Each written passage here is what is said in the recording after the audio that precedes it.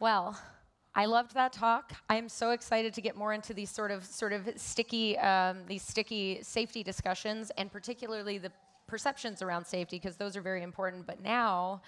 We're going to jump into solving for the black box. So, earlier today, you heard a lot of references to open source and open source technology. And I think one of the questions that I have leading into Jake's talk is how we value the social contract of making things open source and building this field. So he's going to talk a little bit about that. Um, Jake is one of my friends.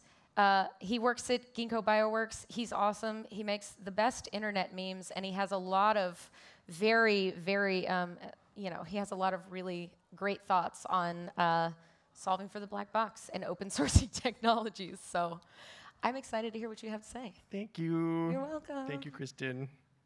Hi, everybody. Hey, yeah.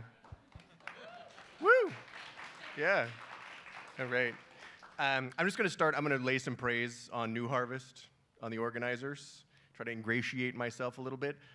The best thing about coming to a conference like New Harvest, here's what it is. Okay, so you're, you're, you're wherever you're from, right? You're out there, you're all by yourself. You've got some idea in your head, something's bothering you, right? Some little, some vague, unfocused, you know, yeah, dumb thought we need to do. And then you come here and somebody's really smart and they just nail it. They just say exactly the same thing that you've been thinking of. And it's like, yes, yes, that's what it is. And now it's not just something I think it's important, it's something we think is important. Uh, and it's very powerful. This has been happening for me all day long. Uh, it happened this morning at uh, Gafour's talk when he said we need to share foundational frameworks. We need to find a way to share our foundational frameworks. Yes, yes, that's it. Uh, and it happened again uh, right now at the, at the previous talk, at Kim, Kim Ong's uh, talk. When, you remember that, that figure from the very beginning, that circle of brains? We got to get out of our silos. We need to make the circle of brains. Yes, that's it. That's the figure. Okay, so I promised the organizers that I was going to give an edgy talk. I'm going to give an edgy talk. So we're going to, from safety, we're going to get dangerous. A little dangerous, I, at least for me. I'm going to get out of my comfort zone. Maybe I'll look a little stupid. That's okay. But I want you to come, off, come with me on this journey as I ask the question who is going to build the future? Who the fuck is going to build the future? Right? And oh, that's a straightforward question. It's actually kind of scary because I'm out here living in 2022 in this post apocalyptic hellscape of crumbling institutions, decaying social trust, right? The economy sucks. Even a good nonprofit like New Harvest having trouble raising money. So a lot of the, the stock answers to this question, the classical answers, uh, they don't sound that good anymore, right? Oh, is it going to be? It's going to be tech companies, right? It's going to be Jeff Bezos, right? And maybe not. Uh, but on the flip side, what we're trying to build is very important. It's very good. Cell ag is worth the struggle if we can just figure out how to deliver on it. Is it going to be a few big companies? Is it going to be a lot of little companies? What's the role for a nonprofit? What's, what's the role for open source? Uh, you know, maybe, uh, maybe, yeah, maybe we need to make a religious cult, right? So the children of the meat. We're going to worship bioreactors, right? That's a kind of an organization. Maybe it's that. I would be open to that if it can deliver. If it can deliver. That's, a, that's, that's not where this talk is going. that'll be a different, that'll be a different uh, talk. But, so, but that's the question. And I, I think that now is a very, now is the right historical moment to ask this question because I think that the way that we develop technologies in biology is changing. And I think a big part of that is this company that I work for called Ginkgo Bioworks. So something happened at Ginkgo Bioworks, changes the way that we do technology. It changes the way that we should organize this ecosystem. And what happened is that we figured out how to get really good at programming cells. We figured it out. So, step one is you invest in scale. You need lots of robots, lots of automation to bring down the cost per operation. Step two is you've got to build out a code base. This is your knowledge base, it's your data. So that every time you do a project, you get better at doing the next project. Then step three is you have to open up that platform to developers like you so that everybody can benefit from this virtuous cycle. More programs, more operation, bigger scale, lower costs. This is the moment when, where we are today in synthetic biology, and I want to have this conversation with you, the developers. How are we going to build this ecosystem? What's the role for a platform like Ginkgo?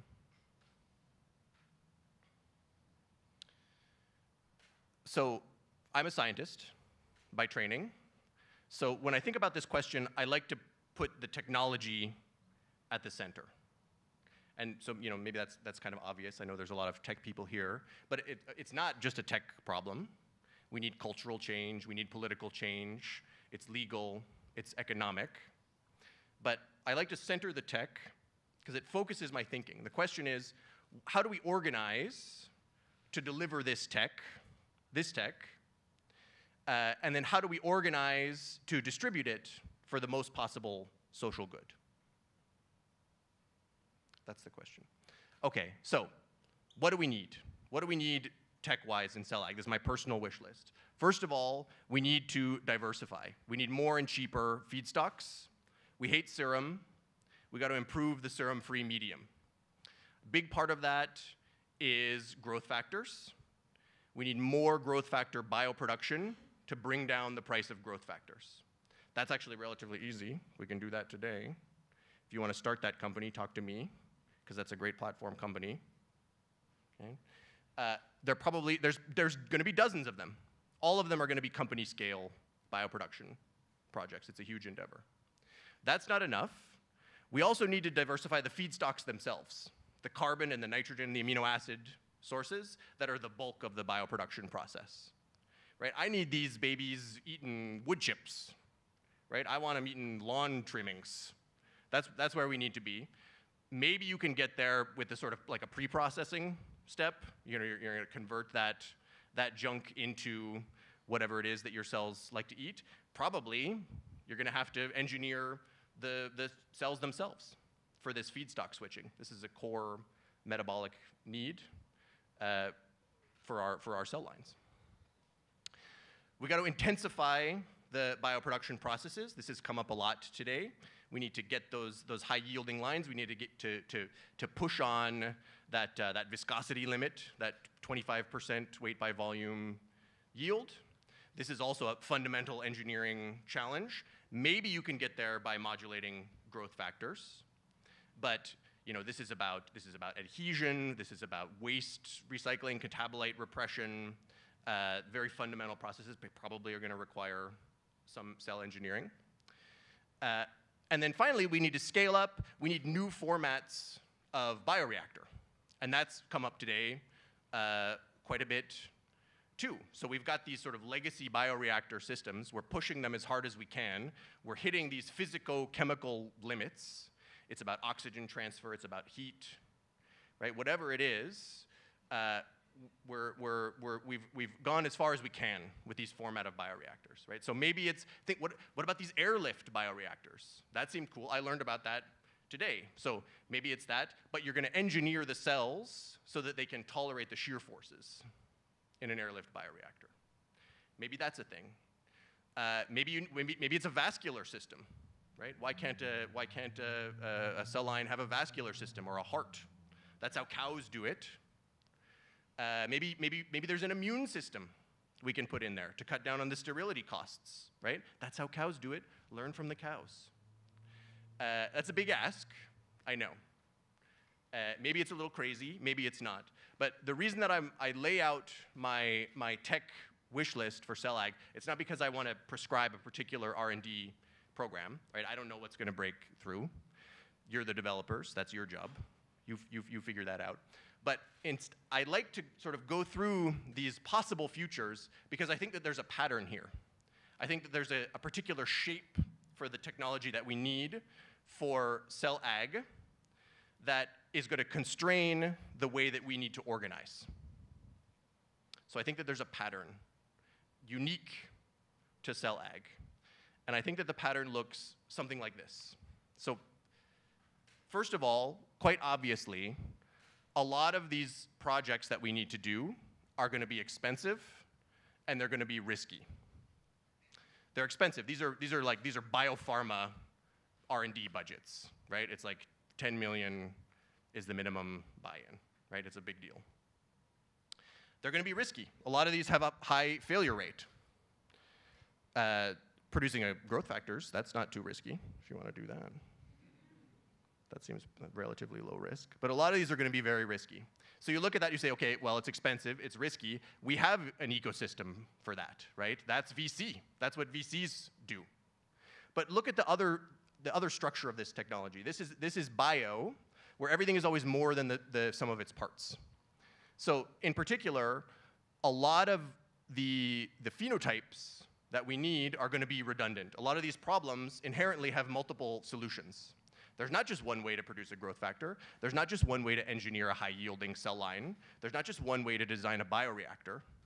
So there's not, there's no way to just to invent a particular solution and then lock it down with IP and, and get exclusivity. When your product is insulin, insulin is the, that's the solution. You have to have insulin. And if you patent insulin, that's it, right? You, you, you win the game. You get your billion X uh, multi multiplier. Ag is just not going to work like that. You're never going to have exclusivity on your IP. You're never going to have the only product, so you have to have the best product. Uh, and then finally, a lot of the solutions that we need are inevitably going to be multiplex, meaning that we need to combine many ideas, many different IPs from different teams into a single pipeline, into a single product, in order to get the very best performance. It's going to be one team that engineers out the, the growth factors. It's going to be one team that solves the shear force problem. It's going to be three different teams that solve the feedstock switching problem. Uh, and then and the, the best product, the, act, the, the cell ag that actually saves the world, is going to have to combine all of that IP together into that one thing. And so therefore this ecosystem, it needs, there needs to be some force in the ecosystem, some aggregator of all of that IP into a single uh, solution, right? Um, and this is bio, by the way. So if you want to combine combining two different technologies into one technology, that's like a whole new thing, right? That's a whole nother project. It's not just like it's not like Netflix, where you you, you just buy out a library of titles and then you have a good library, right? If you want to put two superheroes in a movie, you have to license both superheroes, and then you have to make the fucking movie, right? It's a whole new, it's a whole new thing. So whatever it is that's aggregating that technology, it needs to be smart. It needs to be, it needs to be its own uh, uh, R&D powerhouse. Okay, so those are the constraints as I see them. Now let's, let's try on some ecosystems for size to see uh, what kind of ecosystems might, might fit or work with this. The classical way to do this kind of big R&D project is vertically integrated. This is how pharma invented drugs before all of us were born. This is how it used to be, right? It's one gigantic company that takes it, the entire process from the idea, they demonstrate the proof of concept, they iterate it on it to make it work really well, then they produce it and bring it to market. The incentives here are clear. It's one company, right? They do, they do all the work, they get all the, the profit. The, the execution problem here is clear because you have one organization uh, to, to build this, this machine for beating hard tech. You have this one centralized organization that, that can actually execute. Uh, the problem comes at the innovation stage. Uh, because if this company doesn't have all of the good ideas inside of it, uh, well, then you're screwed. You're not gonna, you're not gonna do those ideas. Biotech VC solves this problem by dividing that early stage part of the ecosystem into lots of little companies, each one advancing a particular isolated IP. Most of them fail. Some of them succeed in a big way. They make enough money to pay the VCs, and then they sell to a bigger company like a pharma company who can actually finish the job through from iteration to dis- distribution. Um, the I think so. The, the problem with this model for, for our ecosystem is that it's way too siloed. It's it's atomized. It relies on each of these individual companies uh, solving the same problem in many cases over and over again. Uh, and at least one of those IPs has to pay off in a huge, huge way. So there has to be some, somebody has to win the lottery uh, in order for this VC-like uh, system to work. So you say, okay, screw IP, right? It's holding us back. We got everybody's we're solving the same problems, right? It's all we're gonna. It's uh, we just need to share, right? I mean, we're trying to save the freaking world, right? Why can't we? Why can't we just? Why can't we just share what we're doing? So you think, okay, well maybe an open source ecosystem is the answer. So here you have the idea is if you can just break down the problem into small enough units, uh, you can divide it up against different players, many of whom don't have to be for profit, right? There could be some companies, they could be specializing in different parts of the process. Maybe some of them are selling services, but some of these could be nonprofits, some of them are governments, some of them are academics, right? That's, that's how an open source ecosystem works. The, the problem here is that in bio, these nodes are really, really hard. They're big and expensive, right? These aren't Wikipedia edits. They're not Git pushes. Uh, these are multi-million dollar laboratory R&D projects uh, that not very many people can do. So the, the, problem that I see with this, this sort of open source model is that it lacks, uh, uh it lacks an execution center. It lacks uh, a place where hard tech uh, can be solved in a big, big way. So what if we take something like this, and then I'm just, okay, now, now, okay, call me crazy. Call me crazy. What if we take something like this, and we just cram a foundry into the middle of it? What if we look at this ecosystem as a platform-driven ecosystem of developers? So now you can still have, like in biotech, these small companies innovating, creating their own ideas, bringing them through to the proof of concept stage.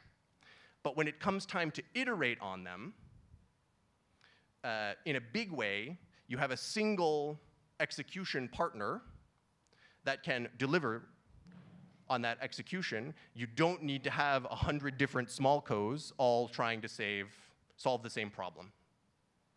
So in this analogy, uh, the, the foundry, it's like an operating system.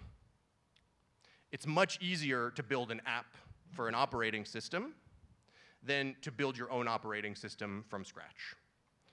Uh, and it's much easier for two different apps to work together if they were written for the same operating system.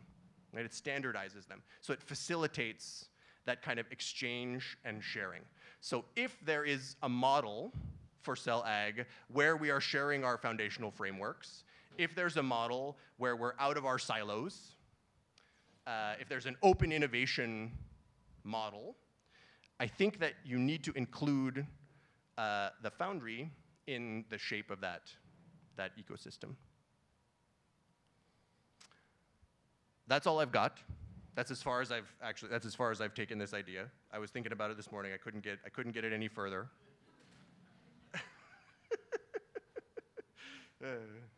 um, maybe I'm wrong, so please find me later. Tell me why. Tell me why I'm wrong. I'd be happy to hear it. But I'm just gonna I'm gonna leave you uh, on a few other questions about this this kind of structure that are on my mind. So questions are what in cell ag development needs to be centralized and what needs to be distributed. what needs to be open and what needs to be proprietary.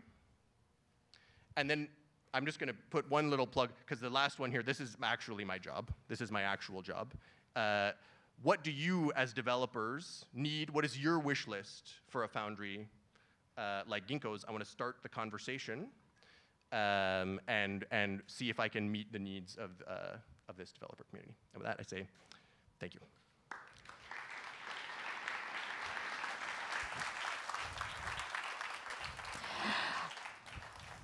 That was awesome. Um, and very inspiring. And there's a lot to think about there. Wow, my voice is disappearing. Sorry. Sorry, everyone. Um, I'll try to hold it together till the end of the day. Um, okay, so top question is what is Ginkgo then doing to democratize the Ginkgo code base? No, I, yeah. So this is so this is a fair question. Um, so we are not democratizing the code base. Um, I, I, don't think that's that's the right word, right? So democratize means give it to everyone, give it to everyone for free. Um, the code base that's our that's our business model. That's mm. our that's that's the reason why uh, the platform can function. Uh, it's the reason why Ginkgo is able to scale. It's the reason why we're able to learn from our projects and then offer that, that knowledge to make future projects more efficient. So democratize is not the right word. It's, it's somewhere in between, right? It's not, it's not fully proprietary. It's not open source. Um, it's not just for us, but it's also not for the whole world. It's for, it's for the developers. It's for the developers community. Yeah, it's a complicated question. Yeah. I think that, that leads into the next question, which is how, how then does it does does something like this work with sort of the platform business model? Because I think the the picture that you sketched out, where we put, you know, we leverage it, a lot of this is about leveraging existing infrastructure and not reinventing the wheel over and over again. And so when we talk about helping developers move through Ginkgo's platform or a foundry model, or even as we start to think about scaling up bioprocesses and other places where technology is going to develop. Um, how does that work within the business model? Do you take partial ownership of IP? Is that something that you're still figuring out? Um, and one of the things that I think this question is pointing towards is people are looking for people are looking for a model. Like I think we're interested in doing this, but it's like cool. So how does it work in, in everyone's interests? How do we make that work? Yeah, I, so I can, I mean, I can, I can talk about Ginkgo's existing business model and the way that we work with developers on a kind of one-to-one basis. Um, and catch, catch, me later, I'll be, I'll be happy to, to tell you about that. That's, that's kind of not what I'm trying to get at mm. uh, in this talk. I'm trying to, I'm trying to imagine something that's a little bit bigger, a little bit more open, uh, and something that I don't quite understand yet. So uh, there are words like words like open innovation, right? Mm. Where you have it's a kind of a it's maybe it's a it's a walled garden, right? It's a place where you have you have cooperation within the terms of a particular agreement. So you it's a you have a sort of partially proprietary space and a partially uh, open space. It's something that would facilitate the cooperation, enough cooperation between different partners so that we didn't have to constantly reinvent the wheel, mm. but would also ensure that people are being rewarded for their, for their hard work uh, and, their, and their contributions. So I can't, uh, I can't tell you what that model looks like because I, cause I don't know and it doesn't exist yet, but I'd like to, uh, I'd like to hear from you about it. Well, this definitely points to some of the ideas you've been getting at around like you know switching the paradigm from users right so framed one way you've got a platform and there are users of that platform framed another way you know you have a product that's coming from that platform and those are consumers of that product but i think this has been pointed to in open source software ecosystems which we talked a little bit about earlier where we're sort of trying to shift the perspective from thinking of ourselves as users or consumers to co-developers, right? So how are we co-developing the ecosystem on the Foundry? It's the question of, you know, who the fuck is going to build the future? Okay, we are. Okay, so how do we do that together, right? Um, and so I think this is really interesting. And, and I think maybe one of the things that, that folks struggle with here is, I think, uh, I don't know. I don't know that, that current business structures the pharmaceutical model you pointed to that is largely built around IP and, and hyper competitiveness um, necessarily takes into account the social contract that we're all embarking on together to sort of build this future together. And so this points to another one of these questions that I think I saw that might have that might have gone away, but it's like, you know, how do we how do we propagate that instead of sort of the the momentum and the bias that is behind this? Um, uh, I don't know if that's a very coherent question, but. I, I and that's a very big question, right? It's, it's more of like a Yeah. conversation starter than a like you're going to have the answer to that right now. But no, I, I know. I, I, I, it's a very, it's a very. I think it's a very big question. It's a very, it's a very fair question, and I think I see some of the other, the other questions in the chat that are sort of that are along on the same lines. Yeah.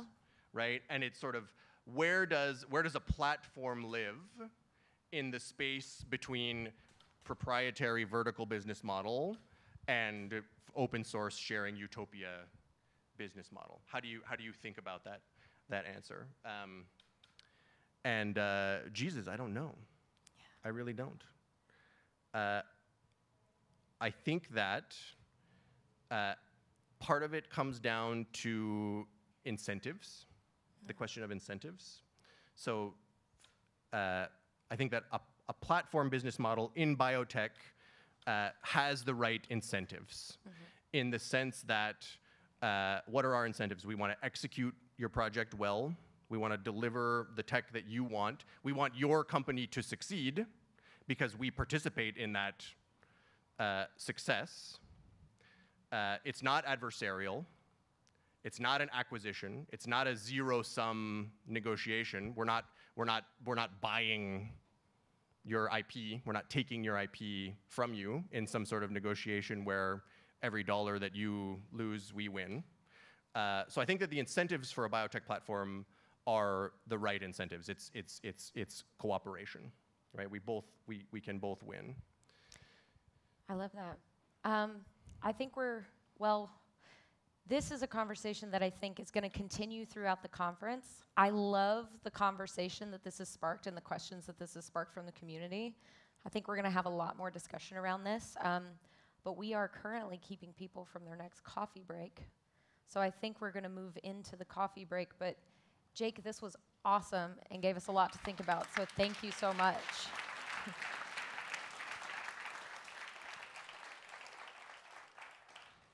Thank you. My friends, you are you are free, but please come back at 3:30 for the next talk. We're going to be getting into some of the awesome work being done by New Harvest's own fellows.